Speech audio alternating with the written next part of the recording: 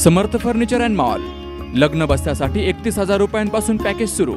संपर्क flora township समोर घुलेवाडी तालुका संगमनेर.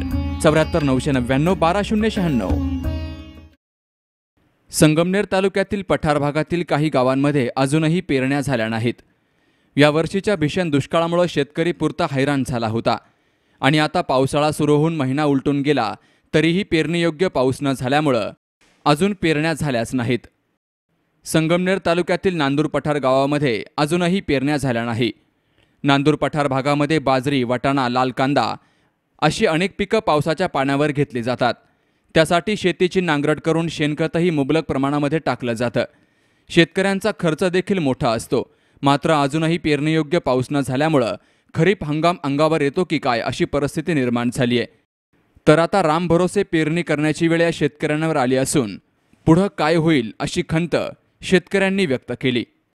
जुलै महिन्यातच पेरण्या करीत असते जून महिन्यातच पेरण्या करीत असते पण पाऊस लांबल्यामुळं पेरण्या काय होती नाही वल नाही पुरेशी. त्याच्यामुळं काही इलाज नाही पेरण्या करता येईन. आता जुलै चालू झालाय वल नाही जमिनीत पेरण्या करायला. पाऊस नाही.